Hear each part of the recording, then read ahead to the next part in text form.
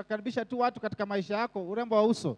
Unakaribisha watu kwa maisha yako wakati haujaolewa, lakini wakati umeolewa unaondoka kwenye nyuso wako na unaingia kwenye moyo na pia wa mwanaume pia vile vile. It is only us who says that man has got a beautiful wife. Ni sisi tu ambao tunasema ah, yule jamaa ako na mke mrembo. Their husband may not see that beauty. Huyo jamaa anaweza kuwa labda hajaona, huyo mume wake anaweza kuwa hajaona urembo. It is only us that he says, hey, na ameolewa na jamaa poa, ameolewa na jamaa fit, jamaa eh, six pack, jamaa eh, mtall six, eh, six feet. Ni sisi tu tuna nyinyi mnasemanga hivyo. Mke wake anaweza kuwa huyo jamaa akiingia akiingia sitting room, mama anaenda bedroom. Bwana asifiwe sana. Amen. So you need to know, and that's why many people miss the point. Na hapo ndipo watu wengi hukosea. Ndio nasikia mtu akisema mimi nikiolewa na jamaa kama huyo, mimi nitakuwa nimetulia, nimefika. Naye mama anatafuta mahali pa kutorokea. Bwana asifiwe sana. Nakwambia mimi nikipata mke kama huyo, hai, sijui nitafanya nini. Naye jamaa hata anakujanga nyumbani saa sita akute watu wamelala, kwa sababu urembo unatoka kwa uso inaingia kwa moyo. Bwana asiwe sana. Amen. Haleluya. Amen. Glory to God. Amen. Na ndio maana mimi hupenda kuambia wazee na kuambia wewe mama, ukishaolewa, mambo ya kusema hauwezi ukafanya hii job ama hii job kwa sababu I don't know what, watu watakuona. That one doesn't matter. Umeolewa, umeolewa. What is important now is to take care of your family. Kile cha muhimu ni sasa kwa wewe kushughulikia familia yako. Bwana asifiwe sana. Amen.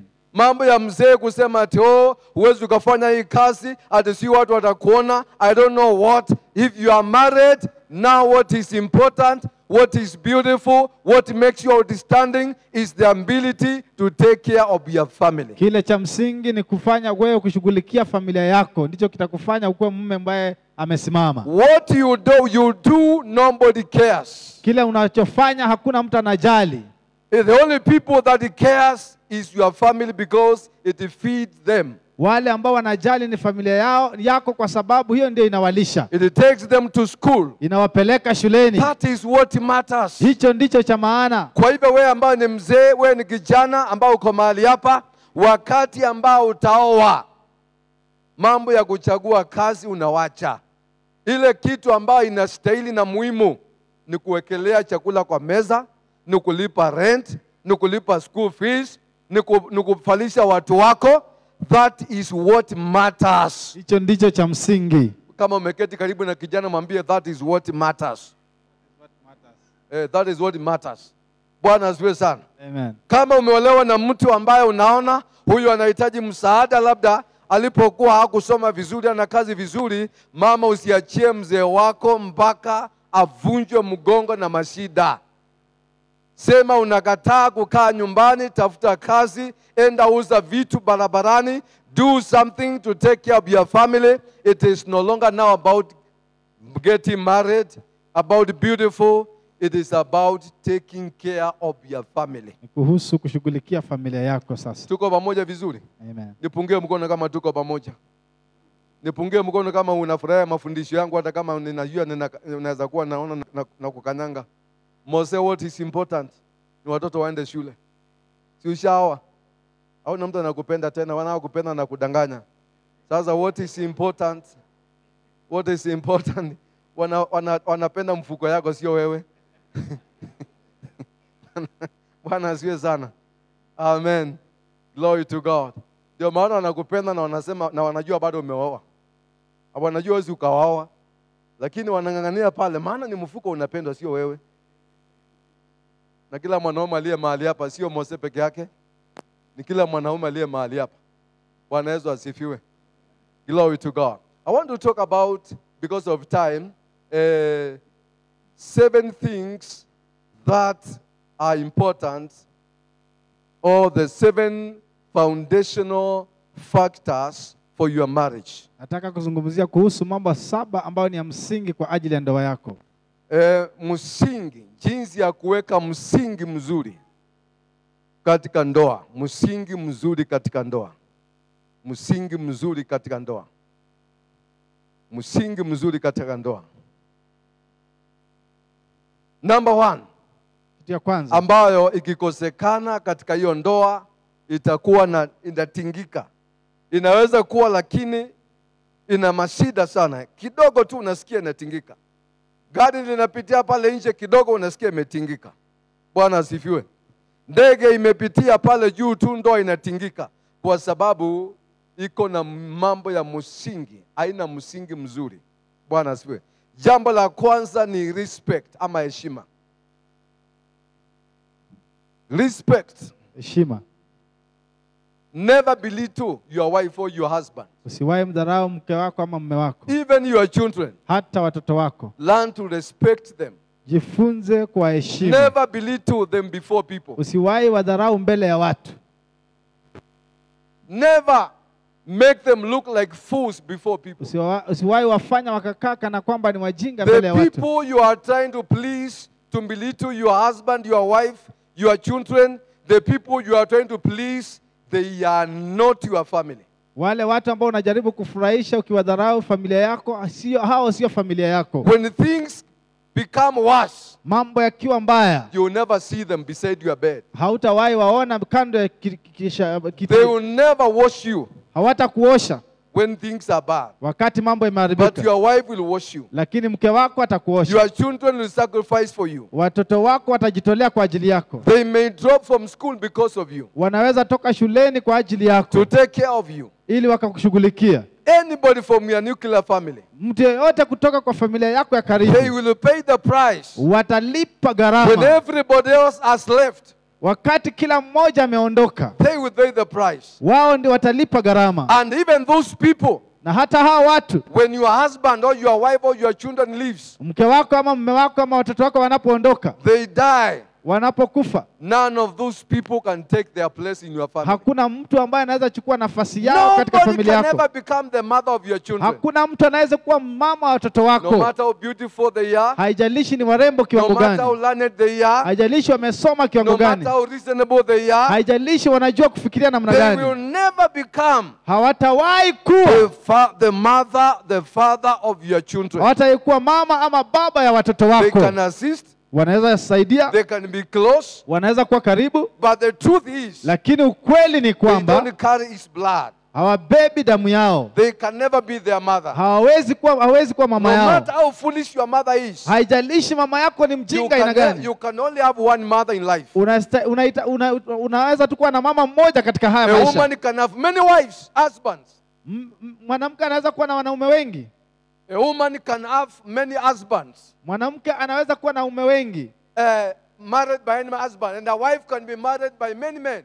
Na pia mama anaweza kuwa na waume wengi. And love them. na anawapenda, But nobody can ever take the place lakini hakuna mmoja anaweza kuchukua nafasi to be the mother or the father of your children. ambaye anaweza kuwa baba ama mama ya watoto wako. That's why you should never incite your children Ndio sababu usiwahi fanya watoto wako against your mother, against their mother, or against their father. wakasimama kinyume na baba yao ama mama yao. Of course, I know nobody can incite you Najua hakika, najua hakuna mtu ambaye anaweza kufanya against your mother or to, to hate your, your father. ukachukia baba yako ama mama yako. They themselves they behave in a way Wao wenyewe wanaweza kukaa kana that kwamba may cause you to hate them, inaweza fanya wewe uwachukie, not to want to have anything to do with them usitake kuwa na chochote na wao, because of the way they are behaved, jinsi wamefanya mambo, be towards you. jinsi wamekuongelesha, But let it be between them and their father and their mother. lakini wacha ikawe kati yao baba yao na mama yao. Somebody say amen. Amen. Glory to God. Utukufu kwa Mungu. So respect is very Kwa hivyo heshima ni ya muhimu Never sana. belittle Usiwahi dharau your wife mume wako or your husband ama mke wako before people. mbele ya watu. Let people know Wacha watu that you respect your wife, ya kwamba wewe unamheshimu, You love them. unawapenda, you honor them, you unawaheshimu, respect them, unawaheshimu, unawatambua. But let them know that you respect your wife. Let them know that you respect your husband. Wacha wakajua kwamba unawaheshimu na kuwatambua mume wako ama mke wako. Let you have problem with your husband or your wife. Wewe unaweza kuwa na shida na baba yako na mke wako ama mume Your wako, own, you have your own wars and the, and the, and the fights. mko na vita vyenu na, na, na shida But zenu, let nobody come uh, uh, your mother, your brother, your uncles, let none of them come uh, uh, to, to incite you against your husband, against your wife. Let your issues remain in your home. Wacha, usiwache mtu yoyote kutoka nje akaingilia mambo yenu. Wacha mambo yenu ikuwe mambo yenu peke yenu. Somebody say amen. Amen. Glory to God. Utukufu kwa Mungu. Hallelujah. Hallelujah. I'm talking about an ordinary, normal family. Nazungumzia kuhusu familia ya kawaida. You see, there are some exceptions, Unajua kuna, special cases. kuna zile za kipekee. You need to bring maybe your brother or your, your dad or your mom or maybe a, a pastor or Eh. maybe a counselor because uh, this one is beyond the two of you. But where there are just normal challenges, normal fights like another family, uh, misunderstanding, uh, uh, let your misunderstandings be there and let nobody come to interfere with your misunderstanding.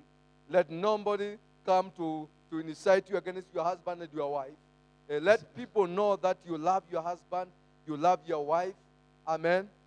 Glory to God. Utukufu kwa Mungu, Yeah, because they will honor them.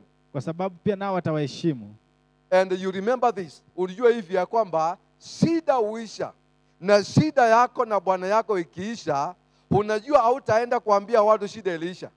Kwa hivyo watu wana hiyo mentality ambao uliwaambia, ndio bado wako nayo, wanajua bwana yako ni mbaya, ni shetani, ni pepo. Kwa hivyo wako na hiyo mentality. Kwa hivyo hata wakati ambaye atabadilika, hawatabadilika their mentality towards him or towards her. That's why it's not, there is, it's not important, Kwa hivyo si it's not good Si mzuri to expose the nakedness kutoa of uchi your husband ya mume or wako wife ama mke wako, until unless they have crossed the red light. Am- labda kama wamepita The mipaka red line. mipaka. Amen. Amen. Glory to God. Utukufu kwa Mungu. I say glory to God. Nasema utukufu kwa Mungu. So respect is very important. Kwa hivyo heshima ni muhimu sana. Show respect to your wife.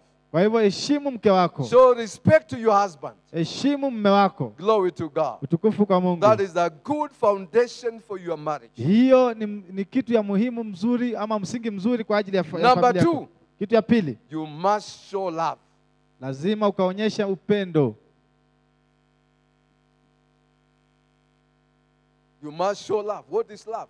Love is showing concern. Upendo ni nini? Upendo ni kuonyesha kujali. Eh?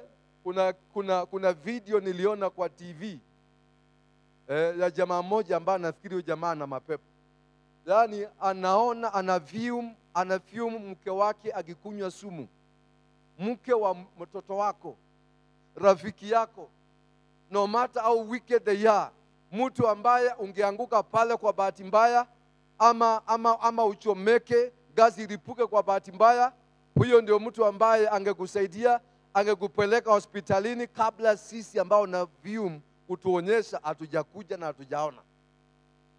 How do you fume the wife, the, the mother of your children taking poison? Nachukuaje video ya mke wako akiwa? Unless wewe ni shetani mwenyewe. Hata shetani sidhani kama anaweza kubali hiyo. Wewe unaweza kuwa ndio baba ya shetani. How do you do that? I mean, huyu bibi unamuita bibi shetani ni mtoto wa mtu kama hawa watoto umezaliwa na huyo mama. How do you feel?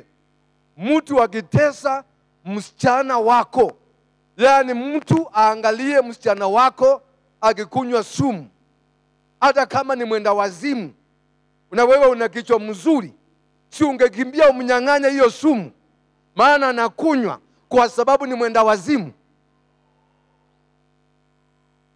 Hello? Are we together? tuko pamoja.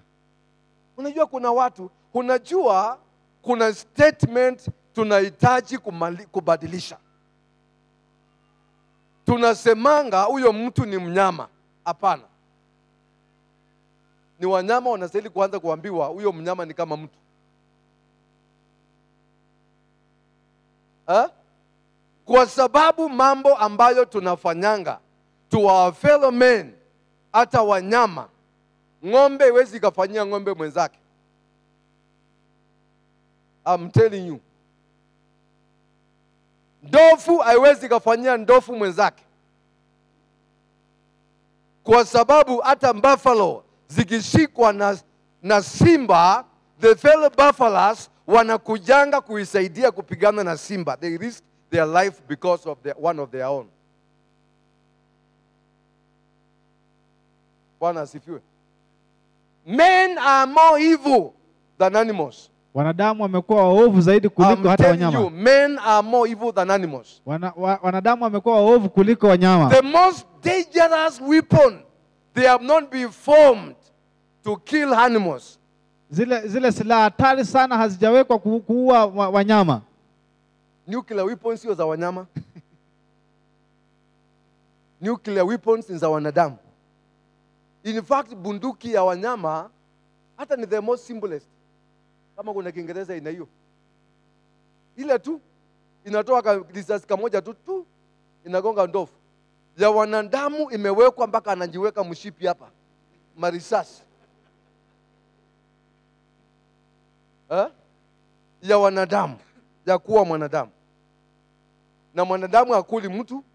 You would expect ya simba ndio iwe mbaya. Maana simba akikukaribia atakuua atakukula. Lakini mwanadamu ndio ametengenezewa the most lethal weapons. Kuna ndege za, za vita zimetengenezewa kuua ndovu ndege zote za vita ni za kuua wanadamu because men are more wicked and evil and dangerous than animals Kwa sababu wanadamu wamekuwa hatari na waovu kuliko hata wanyama. you must have empathy Lazima ukuwe na huruma. Amen. Yes. Hata kusalimia na bwanako amekuja ama bibi yako amekuja kutoka job, karibu habari ya job, hata unaingia kutoka nyumbani, unaenda unatoa koti, unaenda kulala, unaenda kuchukua TV, hakuna salamu, hakuna umeshindaji, hakuna I don't know what. What kind of a life is that? Ni maisha aina gani? Amen. Hata mtu anakuwa mgonjwa, ni mke wako, ni bwana wako ako mgonjwa, ako pala, you don't even care.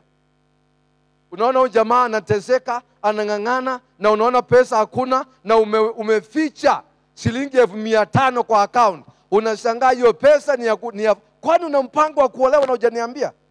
So unataka nikufe ama namna gani ndio uanze familia ingine na hiyo pesa? I thought hii familia ni yetu umeficha milioni kwa account na hapa tunateseka, ninashindwa kulipa school fees. Unasema alipe ndio mwanaume na uko na pesa, na ni kweli mimi ni mwanaume, sijakataa, lakini unanijua tu na unajua mapato yangu, unajua mshahara yangu, you know me. Kweli kama wewe unanipenda na unanijali, jameni, hata naiba ama rafiki yako job ukisikia akiteseka, si ungemsaidia? Ninajua ungemsaidia. Mimi bwana yako, mimi ambaye nilikulipia mahari hmm? Eh? Mimi ambaye ndio mtu wako, mtu aweza akuguza. Mimi ndio tuko nawe pale, tunalala na wewe kitanda moja, in case uanze kukosa hewa usiku, ndio mtu wa kwanza kukupepetea eh? na uko pale tu unaacha ninateseka. Kwa nini usikubaliane na mimi kwanza kwamba wanadamu ni wanyama kuliko wanyama? Somebody say empathy. Empathy. Yeah, show love. Onyesha upendo. Eh? Kujali. Onyesha kujali. Bwana asifiwe sana. Unaona nywele ya mke wako ndio hiyo imeparala, inakaa kama magunia ile ya kubeba mahindi. Eh? Unaona ndio huyo, unajua tu ana pesa, unajua anateseka, lakini umeficha. Eh? Unasha, yani umekuwa kama yule mtu anasemanga, anasemanga habari zenu, huko wapi? Tume, tumefu, tumeshikwa, tumeshikwa, tumeshikwa, tumepelekwa hospitali na tafuteni viazi na mkule hapo na, na, na nini na managu. Eh, uko wapi hospitali uje kukuona? Hapana, huko hawataki watu watembelee watu. Naona jamaa anakula nyama pale eh? If you don't love somebody, don't marry them. Marry somebody you can, you can love ah, because love covers mistakes. Kwa sababu upendo unafunika Of course, I, before you marry me, I want to declare and announce to you, I am not perfect. I will never be perfect. kwamba kabla hujanioa lazima niseme mimi si, si kamilifu, I can never be 100% faithful. That one you better take it for me. siwezi kuwa asilimia mia moja, I can never be 100% truthful. You better believe. You better get it from the siwezi kuwa beginning. mkweli eh, asilimia mia moja. No, it is only God Ni Mungu tu peke yake who can be faithful 100%. ambaye anaweza kuwa mwaminifu Who can be true, truthful 100%. ambaye anaweza kuwa mkweli asilimia mia Only moja. God who can be there for you all the time. Ni Mungu tu peke yake anaweza kuwa pale I kila am not wakati. omnipresent. I am Bishop Mutua. Yeye ni sisi ni Bishop Mutua, si, si Mungu. I'm not on, on, on, omnipresent. So, create some room, room Tengeneza nafasi in your heart for me katika moyo wako kwa ajili yangu, in case you find some shortcomings na ukipata makosa fulani that cannot be corrected. ambayo haiwezi Or kurekebika, that is my weakness. Ama hiyo ndio udhaifu wangu, Have some space kuwa na nafasi kidogo, because even you, kwa sababu hata wewe I have some space for you. niko na nafasi yako pia. You know, the reason why I was meditating on the Word of God, nilikuwa nafikiria kuhusu nafutafakari kuhusu neno la Mungu, and uh, you know, I was meditating on this word. The Bible says, Judge that you may not be judged. ya kwamba nilikuwa natafakari kuhusu lile neno ambalo kwamba usihukumu ili usihukumiwe. And uh, the reason why God was saying that, Jesus was saying that, Unajua sababu ya Yesu kusema hivyo, he was teaching about, uh, uh, he was, there, it was in, from that woman who was caught in the adultery, and uh, Jesus began to teach about adultery, and uh, he- that uh, after he, he began by saying, "Judge, that you may not be judged," and uh, he said that uh, if any man kama mtu looks at a woman akiangalia mtu akaangalia mwanamke lastively. Interpret what I'm saying. Wacha kuwa mtu wa kiroho. Hiyo ni Biblia. So interpret what I'm saying. If a man looks at a woman lastively, mwanaume akimwangalia mwanamke kwa tamaa, he has already committed adultery in his heart. tayari ameweza kufanya uzinzi katika moyo wake. So Jesus was saying, Kwa hivyo Yesu alikuwa anasema tukianza kusema tufuate sheria vizuri, eh, to the latter, vile mnataka.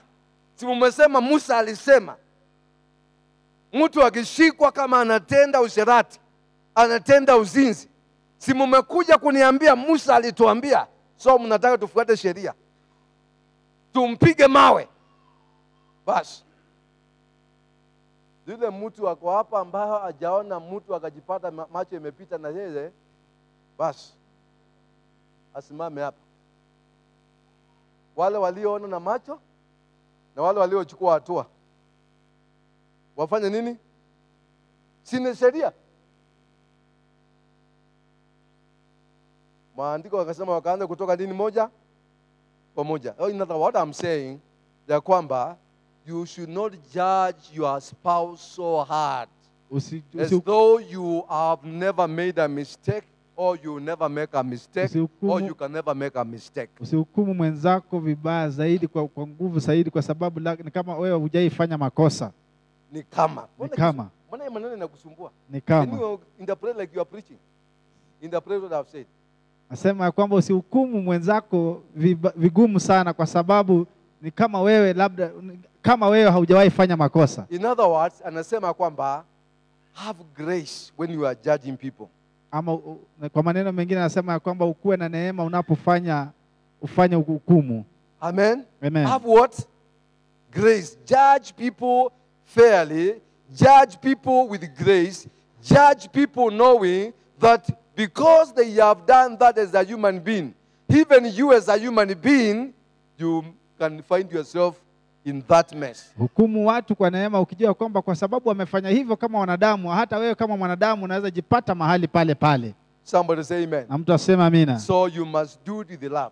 Kwa hivyo lazima ufanye hivyo kwa upendo. Sometimes you cover love, you cover their mistakes with love. Wakati mwingine unafunika makosa yao na upendo, Sometimes you correct them with love. wakati mwingine unawarekebisha kwa upendo, Sometimes you rebuke them with love. wakati wengine unawakemea kwa upendo, but not like your enemies. lakini si kama maadui not with anger, not Sio- with bitterness, sio na not with hasira na machungu, not with the anger, sio uchu, na, na not with bitterness, sio na machungu, not with hatred. sio na chuki. Remember they are uh, your fellow brother, they are fellow sister. Remember they are uh, the father of your children, they are the mother of your children. Kumbuka hao ni ndugu, ni dada wako, na kumbuka pia ni baba na, na, mama ya watoto wako. Amen. Amen. They are not your enemies. Hao sio maadui zako.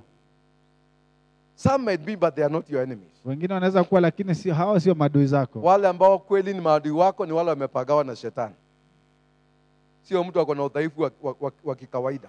Bwana asifiwe sana. Amen. Yes, learn to show concern. Jifunze kuonyesha kujali. Glory to God. Amen. And uh, in the same breath, remain friends. Na, pia tuendeleeni kuwa marafiki. Amen. Mambo ya kucheza eh,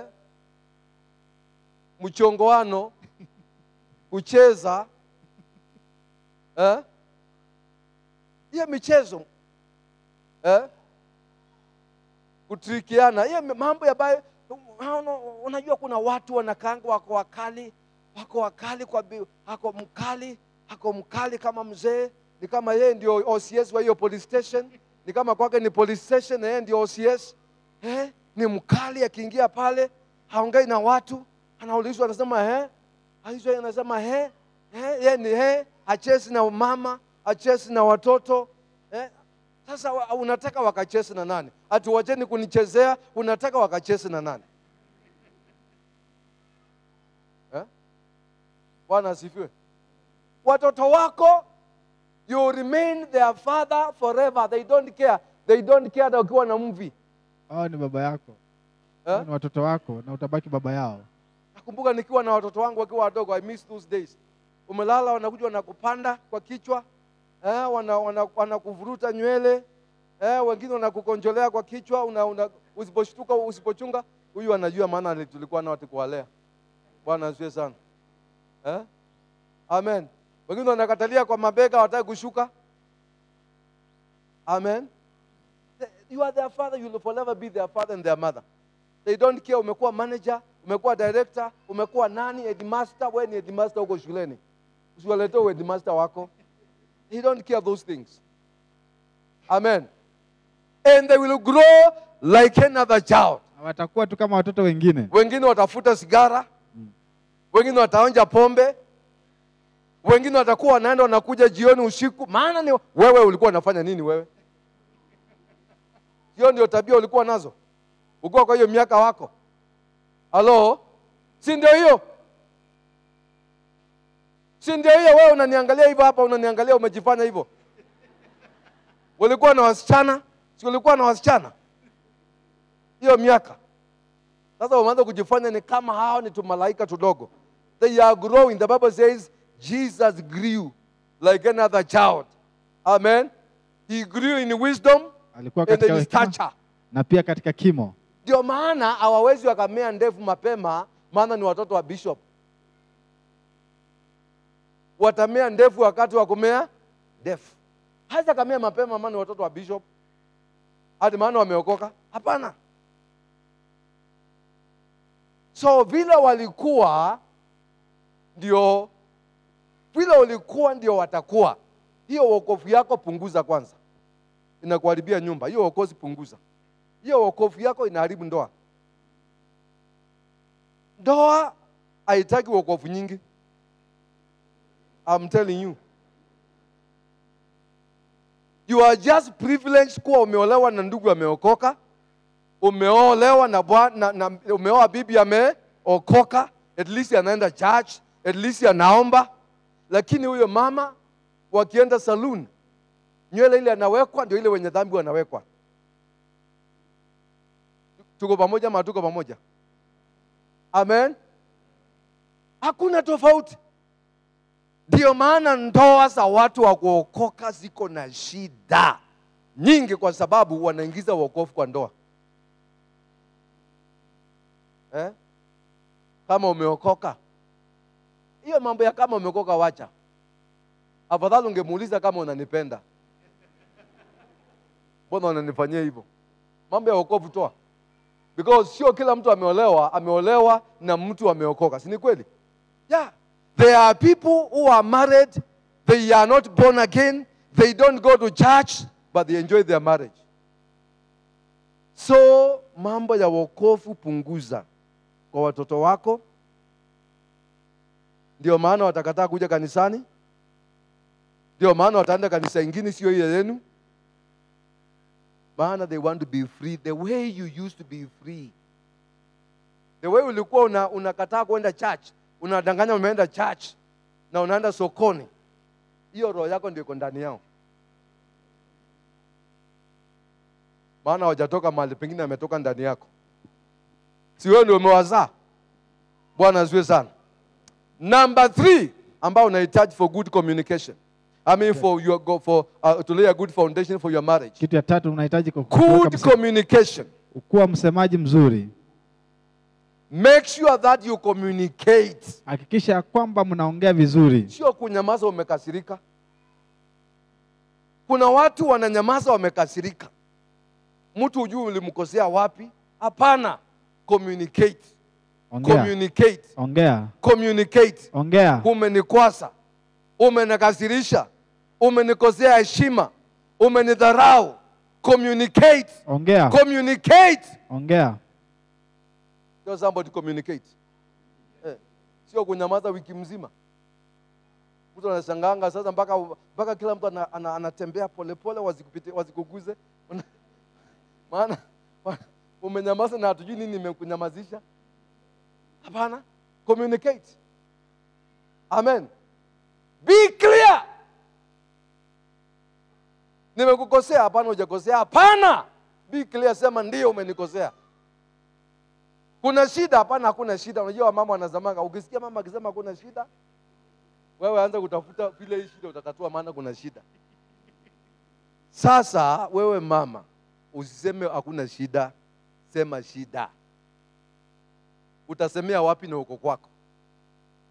Utaenda kusemea wapi? Utakuja kusemea kwa Bishop Mutua? Si usemee kwa huyo mzee wako, kwa huyo mke wako, sema shida kwake pana pana sema ati huu. Na wewe ukiambiwa shida, wachana na Biblia. Ati Biblia inasema ulipomwoa ulimsomea Biblia ha? Ulimsomea Biblia? Ulipomwoa ulimwambia nini? Ninakupenda. Uliongea maneno ya upendo. Ni Mungu alimpenda ama ni wewe? Sasa mbona unaingiza Mungu hapo? ati maandiko, tusome maandiko. Haujakosea Mungu, umekosea dada mke wako, umekosea mzee wako. Nyenyekea, kubali makosa, kubali aseme, na wacha kupinga, wacha kuankiu, anasema moyo wake. Bwana asifiwe. Ukikula unaniaibisha, tukiwa na watu, funganga mdomo, waja kusema nakukalia. Si ni mke wako, si ni mzee wako, ambao ambao ndio maandiko anasema kwamba Paulo anasema tusiwe na haraka ya kuoa, na hata anasema wengine tusiowe, kwa sababu anasema we will be torn between pleasing our husband and pleasing God. So if you are married, you have only two people to please. Kuna watu wawili wa kufurahisha. Hakuna ati mimi siwe nikakujipendekeza kwako. Kama ulioa, you have no choice, unajipendekeza kwa Mungu na kwa mzee wako na kwa mke wako. Hao wengine wachana nao, ndio nikawambia watu wengine wachana nao. Mungu anatarajia ubalance between kumpenda na kupenda mke wako na kupenda bwana yako. Shida yako iko hapo, sio watoto, ni kupenda mke wako na kupenda Mungu eh? Shida iko wapi? Vile utapenda mke wako na upende Mungu. Sema amen. Hallelujah. So you must learn to communicate. Lazima ujifunze kuongea. Na ukiambiwa kitu, mama akisema apendi kitu, mzee akisema apendi kitu, eh, wachana na kujitetea, wachana na, na defense system. Unahitaji umuulize na unataka nifanye nini, na unajua ninang'orotanga kama nimelala, maana sijisikii. I wish ningekuwa najisikia singeng'orota kama kung'orota inakusumbua. So kama inakusumbua sana, mi sijui tufanye nini. Tuombe tu, Mungu atubariki na nyumba kubwa, nikianza kung'orota, maana sijisikii. Either uhamie ukalale sitting room mpaka kung'orota ishe, ama niende sitting room, maana there are things you cannot control. Bwana asifiwe sana. So my point is, don't forget na hiyo mambo ingine yote. My point is, don't defend yourself. When somebody is saying, hii kitu inaudhi, hii kitu sipendi, hii kitu inanisumbua, if it is genuine. Amen. Amen. Reason together with your wife and your husband. Again. Reason together. msemezane. Yeah, muone kama ni genuine hiyo kitu, na kama ni ukweli, umuulize tufanye nini, tufanye nini. Communication, Ongea. communicate and communicate very clearly. Ukaweza kuongea na uongee vizuri. Don't assume Usidhanie. ati bwanako anajua anastahili kupee pesa. Hapana, don't assume. Unasema ati nimekaa hapa hata nimemaliza mwaka mzima hajanipatia pesa, nimemaliza hii mwaka mzima hajanifanyia hii. Don't assume. Don't assume they don't live in your heart. Hawaishi kwa moyo wako. I don't know what you are thinking Mimi sijui unafikiria nini unless you tell me. mpaka uniambie. So don't assume. Kwa hivyo usiassume. Eh? Amen. Amen. Waambie ninakupenda. Eh? Don't assume wana, anajua ninampenda. They don't know. Tell them ninakupenda. Tell them hii kitu ina- unafanyanga inanichukishanga, inanikasirishanga, sipendi.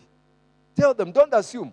Si assume. Maana hiyo ndio inafanya unaanza kuwa na hasira, umenyamaza, na inaleta tension in the house. Somebody say amen. Mtasema amina. Nipungie mkono hata kama hutaki mafundisho yangu.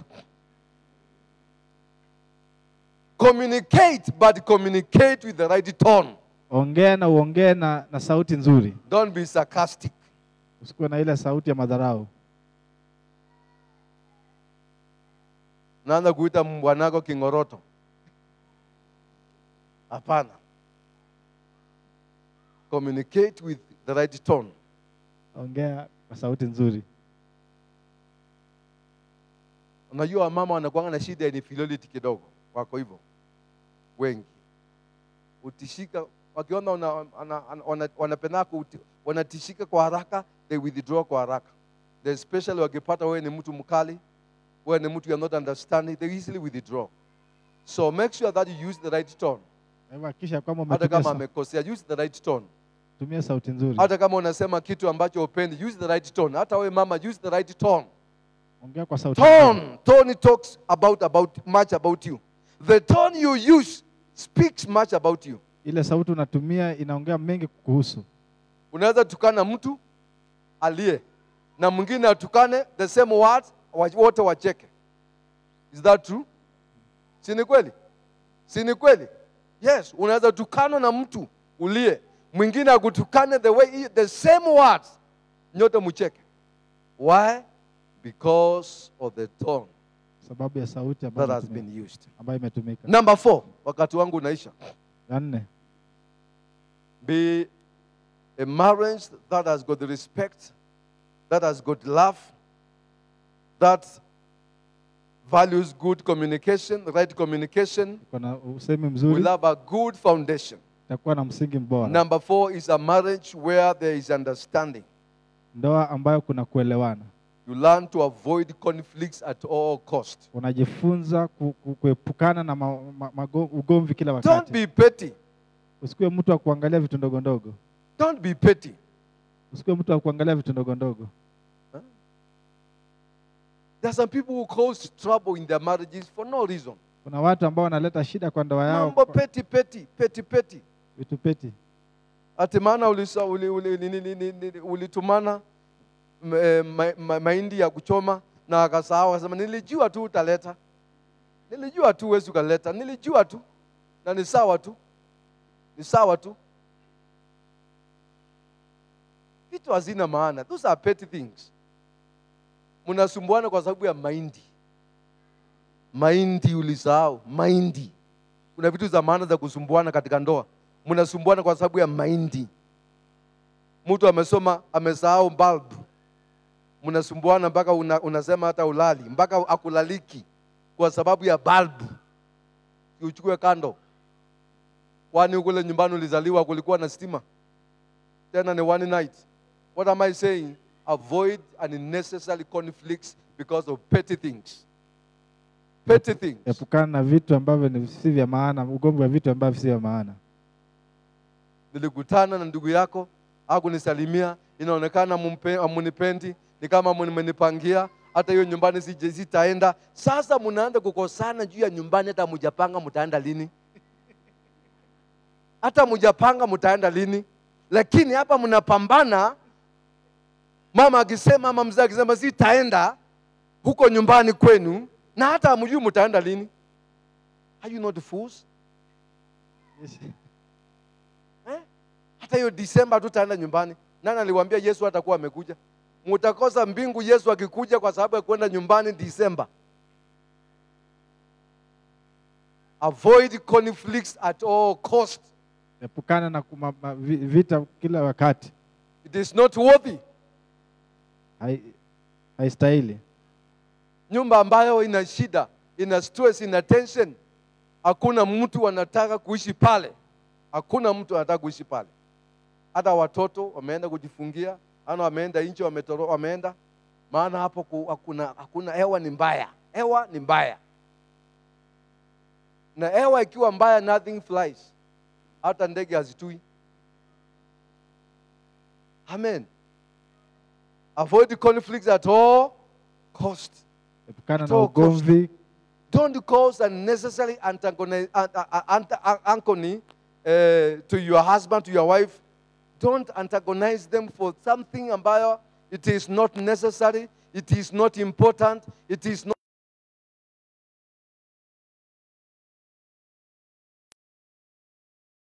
Tanzania, watu hata wako pale, watu wanalala, watu wamewekeleana mikono, wamewekeleana miguu, watu wamelala pamoja, watu wanakula chipsi, watu wana, wanaku, wanakunyushana soda ya Fanta. Sasa hawa wanafurahi na nyinyi mnakosana kwa sababu ya bwana yako bwana bwana na, na bibi ya ndugu yako,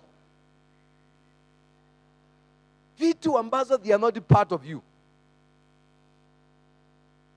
mama yako na mzee wake wako nyumbani wanalisha mbuzi zao na kuku zao.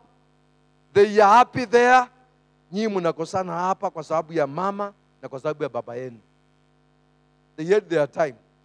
Hawakuwa wajinga kama nyinyi they take, took off their, fam, their marriage that's why they are still together when they are 60s and the 70s nyinyi mnataka kuachana mkiwa na 35 years kwa sababu ya watu wengine Paulo akauliza, ni nani aliwaroga? Halo, nipungie mkono kidogo tu hivi, nipungie tena. Haya, ya kunisindikisha nende. You need understanding. Unahitaji kuelewa. How do you maintain that? Utafanya namna gani? Uh, because sometimes sababu wakati mwingine this husband of yours and this woman of yours, huyu mume wako ama mke wako they have their own issues. wako na, na, na, na mambo yao. Mashida zao. Mashida zao. Hata Some of their problem have got nothing to do with you. Mashida zingine zao hata si, si, hazikuhusu. maybe ni stress the job, maybe ni stress za marafiki zake walika yake wamejenga magorofa, yeye hajajenga gorofa, walikuwa pamoja university, yeye ako pale, wanaendesha magari, yeye ana gari, ako kwa bodaboda, anasikia vibaya, anasikia demeaned, anasikia belittled, anasikia an, ajipendi, na yeye anakuja na stories zake nyumbani, wewe unafikiria ni mambo yako. It has got nothing to do with you. So for you to be able to have that good family, you need to learn to give space. Give them space. Wape, wape nafasi yao, Ukiona hataki maneno mingi, mpe space. mpe nafasi yake, Ukiona ni kama amekuwa amekasirika, mpe space. mpe nafasi yake. Aje tu wewe jipe shughuli zako, enda uka, uka, uka, sokoni kidogo, nenda ukatembee, nenda ukasikize TV, kwa sababu kama mtu ako na stress anangojea kidogo tu, ni kama bomu inangojea iguzwe kidogo tu ilipuke. Kwa nini uguze ilipuke? Why? Why do you want to, to blow out the nini? Why? You just leave it. Jipee shughuli. Download Facebook kama una Facebook. Download Facebook, uanze kuangalia Facebook. Vituko za Facebook za kina Victor na Shuki na nani. Una download pale, unaanza kuangalia tu. Amen. Pungie mkono ninapomaliza. Mwambie mtu eh, kama umekaa karibu na mzee, mwambie patia mama nafasi. Pana unaona, unauliza mtu maswali mingi na unaona hataki, si wache. Mnakosana kwa sababu ya maswali, unataka majibu. Hiyo majibu itasaidia nini nyumba yako? Italeta mabati ya kujenga? Mambo ina maana maswali mingi, unauliza maswali mingi eh? Naona mtu ako na shida zake. Mbona chakula imechelewa saa hii? Imechelewa maana imechelewa, imechelewa maana imechelewa. jibu, unataka jibu gani jameni? Eh? Amen. Glory to God. Hallelujah. Mbona leo mnyamazi utaki maneno? Nimenyamaza maana sitaki maneno. maana siku ile ambayo ninataka maneno, si tunaongeanga, si tunacheka, tunapiga mastori, si tunakuwa na mishene. saili ambayo ninataka maneno, leo hata wewe unaona zitaki maneno, si uniwache tu. Mbona nataka tukosane bure? Bwana asiwe sana. Amen. Understanding. Somebody say understanding. Understanding. Say it again, understanding. Understanding. Amen.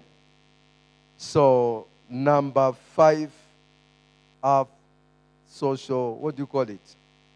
Have some social support outside your husband and your wife.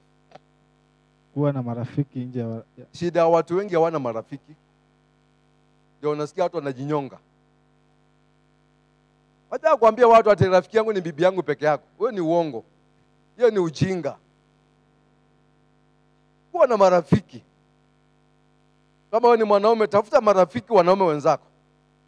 Saa ingine mnaongea nao, ulikuwa unafikiria bibi yako ndio mbaya, wanaongea unanyamaza. Ulikuwa wanangojea umefika tani yako uongee, unanyamaza, unasema kwangu niko sawa. Kuwa na marafiki wanaume.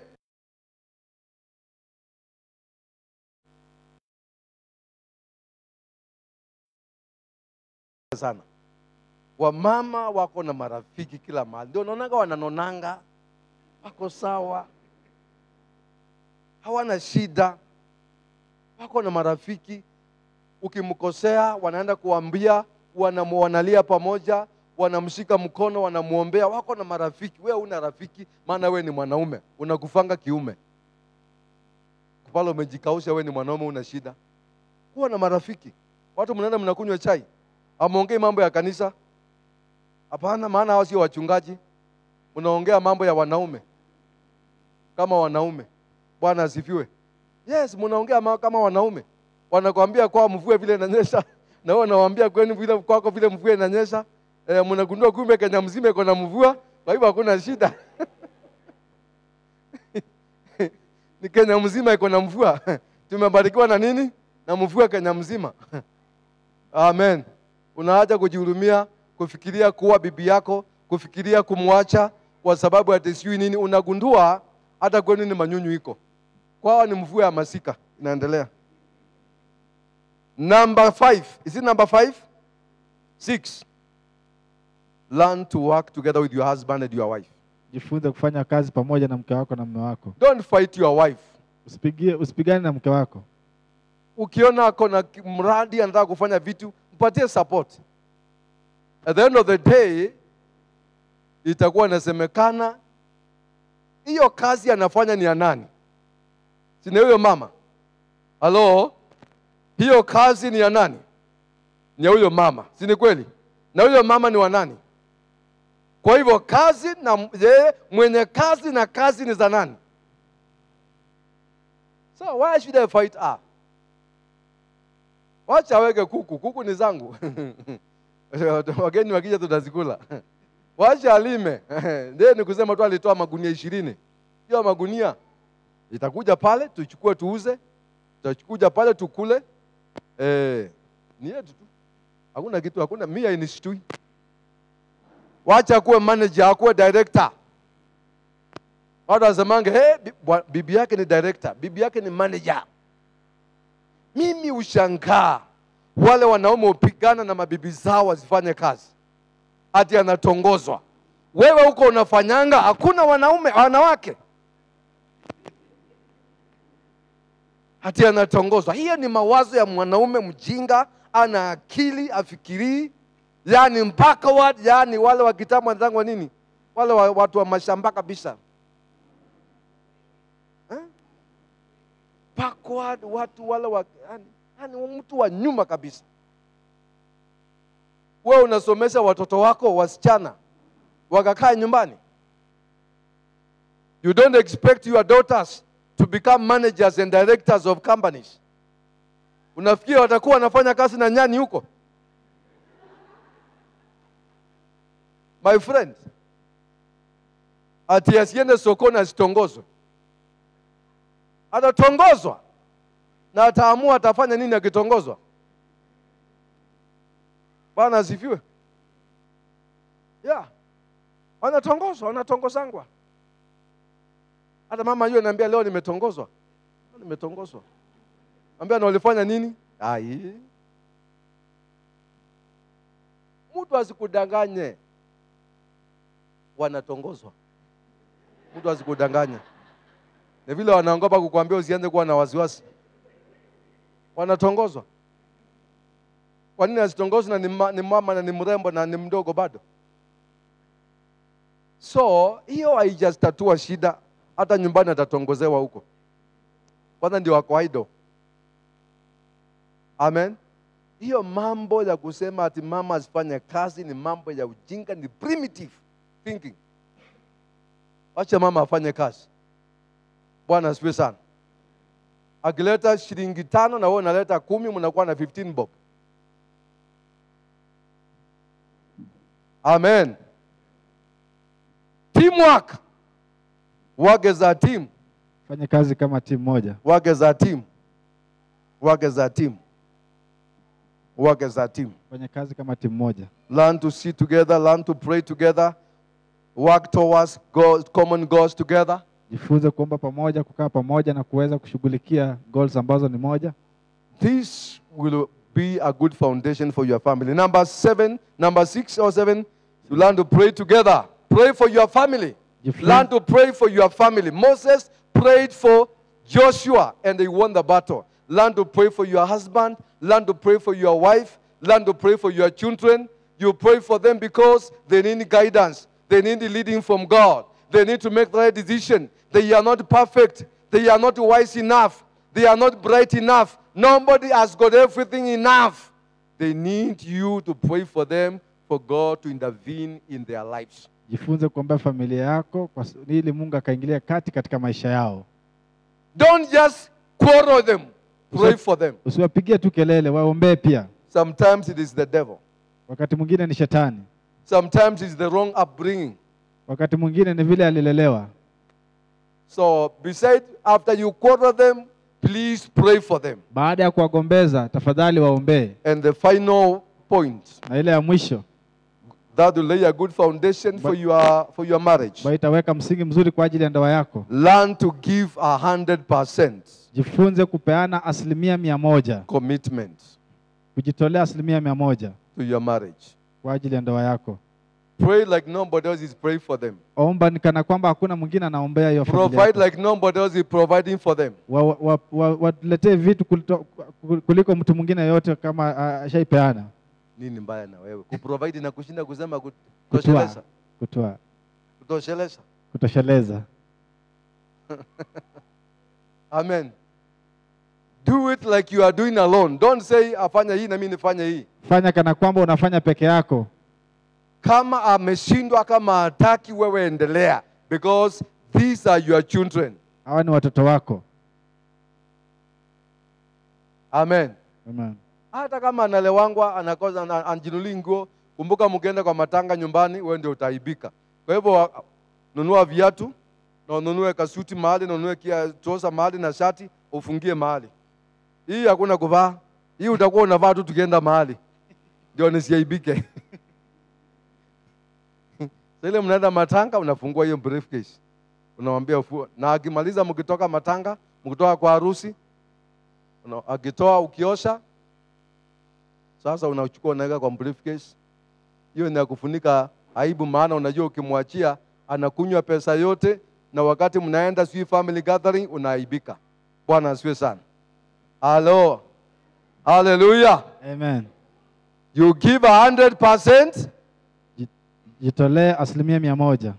to your family. Kwa ajili ya familia yako. bwana asifiwe. Amen. watoto wasikose kusoma maana baba yao ni mlevi maana baba yao asijui kona shida gani watoto wasikose kuenda shule wasikose chakula wasikose mafasi kwa sababu ya either the wife or because of their father. Wewe jitoe 100% and god will bless you. Mungu atakubariki. na hata watoto sio wajinga. Kwani hawaoni mama ndo alijitoa unafikiri hawaoni baba ndo alijitoa bwana asifiwe. And also again hata wachana hivyo you are setting a good example to your children Unatoa mfano mzuri kwa ajili ya watoto wako. you are teaching them to be responsible husbands in the future responsible wives Unawaonyesha jinsi ya kuwa wake wazuri ama waume wazuri. na neno Litaendelea. next sunday you will come to teach about how to be an outstanding husband how to be how to uh, the beauty or uh, the beauty of a woman the beauty of a wife and uh, how to be an outstanding as a husband. Jumapili nayo kuja nitakuwa nazungumzia urembo wa mke na pia kuwa mume mzuri. amen. Amen. bwana yesu asifiwe. Amen. inua mikono nikuombee baba katika jina la yesu ninakushukuru kwa sababu ya hizi familia ambazo ziko mahali hapa. Ninazibariki katika jina la yesu. Ninawaombea maisha marefu waone watoto wa watoto wao waweze kuishi na mzee wake mpaka wazeeke waweze kuishi na mke wake mpaka wazeeke katika jina la yesu. Naomba mahali popote ambapo shetani ameingilia kuweza kuharibu nyumba zao ninamkemea katika jina la yesu. Naomba mungu wangu kalete amani. Wazee walio kichwa ngumu wanaotesa wamama baba ukavunje hiyo roho ya unyama ndani yao katika jina la yesu. Wazee na wamama walio kama nabo they are not understanding quarrelsome watu wa vita watu wa shida watu wa petty, petty, petty things watu ambao hawapendi amani watu wa wachokozi baba ninawaombea katika jina la yesu. Lia ukaweze kuwabadilisha wakaweze kuwa wazee na wamama wa heshima wamama ambao wanapendeza watu ambao ni understanding katika jina la yesu. Baba leta roho wa upendo katika mioyo ya wazee na wamama kwa jina la yesu naomba kukawe na heshima ndani ya wazee na wamama. Katikati yao naomba kukawe na heshima. Kila madharau roho ya dharau ikakome. Roho ya madharau ikakome katika nyumba zao. Katika jina la yesu kristo mwana wa mungu aliye hai. I pray for them my god. Let them be love in their families. Let them be respect in their families. Let them be good communication. Roho ya madharau ikakwisha kwa nyumba zao katika jina la yesu i pray for unity that they will work as a team but not two different people in the mighty name of jesus. I pray that you learn to give them to be the priest of their families to learn to pray for their children pray for their future for their destiny pray for their education pray for their health pray father for their blessings pray for their marriages father in the mighty name of jesus. I pray that you give them father the grace to be effective priests in their families in the mighty name of jesus. Father i thank you and i bless your holy name. I thank you father for hearing my prayers and i thank you for healing father even our families. I thank you for restoring father even our families in the mighty name of jesus. And above all things i pray provide for them my god. Open doors and opportunities. Open doors and opportunities for them for employment for them for business for them for wealth and the riches in the mighty name of jesus as the word says that wealth and the riches shall be in their house let them be wealth let the spirit of wealth and the spirit of riches Father, in the name of Jesus, be in their families, be in their families. Let their children and the children of their children and their generation, Father, I pray in the name of Jesus, be blessed and their children be mighty in the land. In the mighty name of Jesus. Thank you, Father.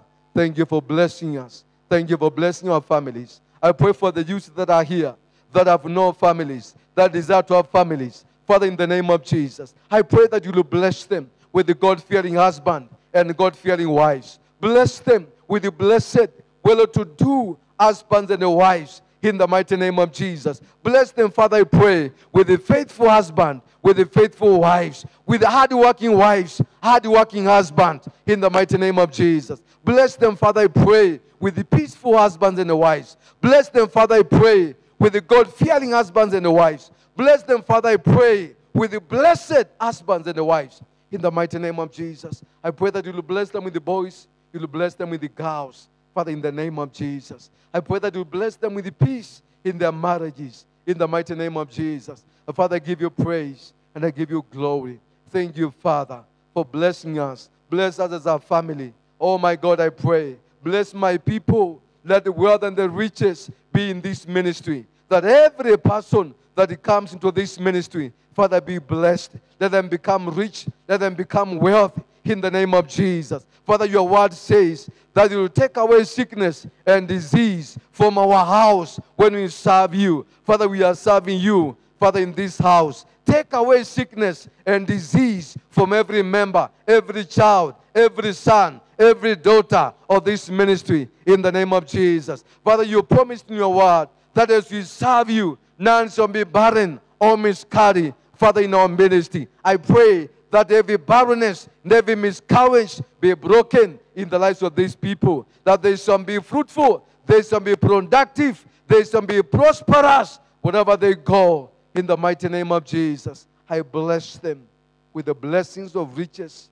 with the blessings of wealth, with the blessings of long life, with the blessings of good health, with the blessings of good marriages, with the blessings of cars and the lollies and the buses and the, and the pickups and the saloon cars, with the blessings, Father, of all kind of wealth, oh, all manner of wealth, in the name of Jesus. I pray that you connect them with the people who will be, add value to their lives, in the mighty name of Jesus. I pray that you open doors and opportunities for them, worth the hundreds of thousands, millions of shillings, billions of shillings, in the mighty name of Jesus. Thank you, Father. We worship you and we bless you in Jesus' name. Somebody clap your hands to Jesus. I say, somebody clap your hands to Jesus. Hallelujah. Glory to God. Are you blessed? Amen. I want us to give to God. I want us to get into our pocket, get a good offering. Tuweze kutoka kwa Mungu, What do you want to give to. God? Nataka kutolea Mungu. If you want to give your tithe, Kama unataka kutoa fungu lako, uh, you take it out. We want to give. Kutoa. When God blesses you, remember in every blessing there is a part that belongs to Him.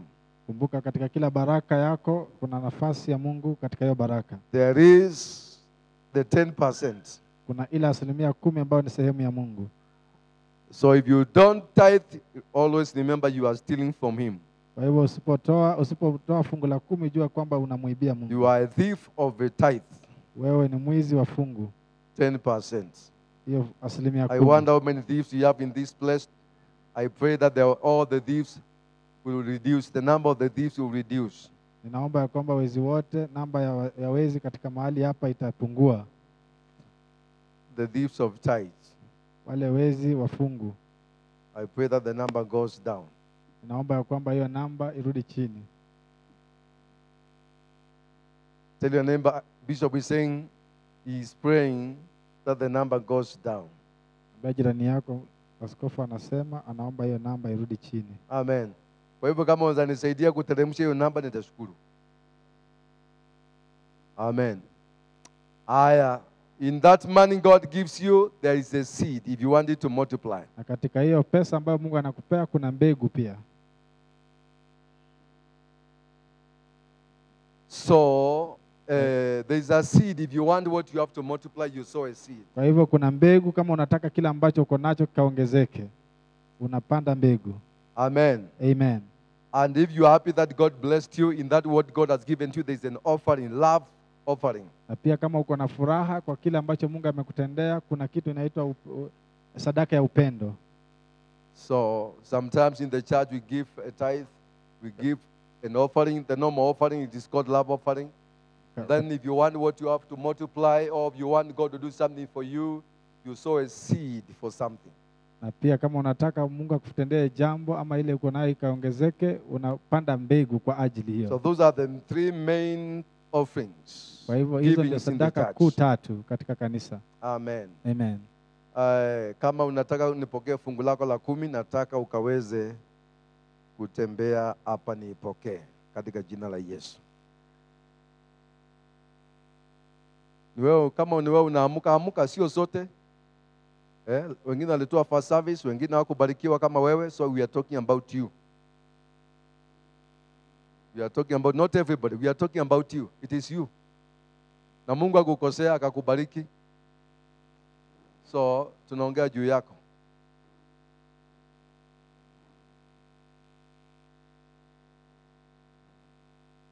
Mimi hakuna kitu nafurahianga kama kutoa fungu la kumi, kwa sababu nawaambia wapendwa, nimeona kazi ya fungu la kumi, nimeiona kabisa.